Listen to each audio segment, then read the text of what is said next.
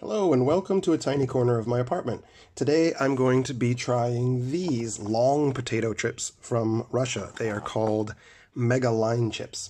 I got a few flavors, so I guess I'll rank them against each other as well. Uh, first up is sour cream and cheese.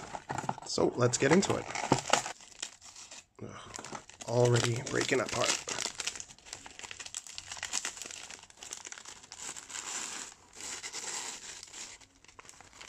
Okay.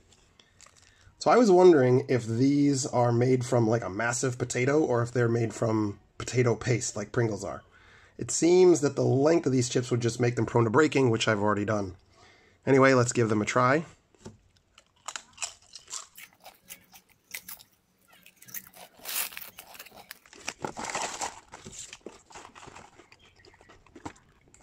Yeah, they have the same consistency as a Pringle. They're much thinner though.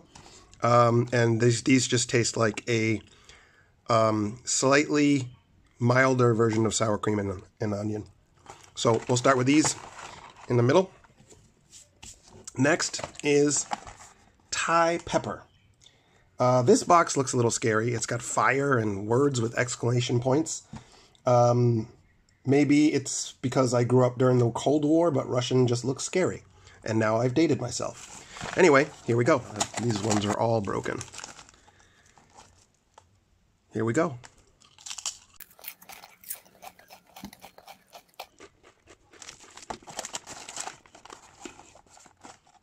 Well, that was mostly bluster. These are not that spicy. There's a little bit of heat, but not much. Maybe if I ate more, the, the heat would build. Um, well, the flavor is good. Uh, it's more pronounced than this one, so I'm going to actually put that ahead, just because it actually has a stronger taste. And the last one is a little more out there. This one is this one is jellied meat and horseradish. Now, I'm not sure what jellied meat tastes like, but I know what horseradish tastes like, and it goes well with roast beef, so this could be good. Let's see.